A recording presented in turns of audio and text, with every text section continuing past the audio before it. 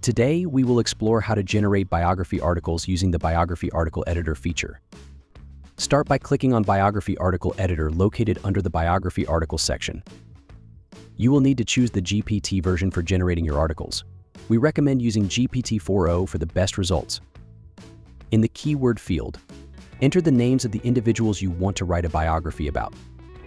If you would like the AI to create titles for your articles, make sure the AI-generated title option is turned on. Choose the source for images that will be included in your article.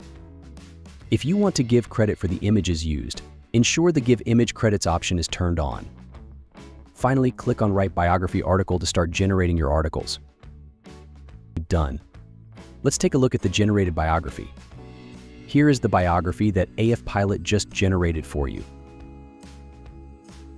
Thanks for watching.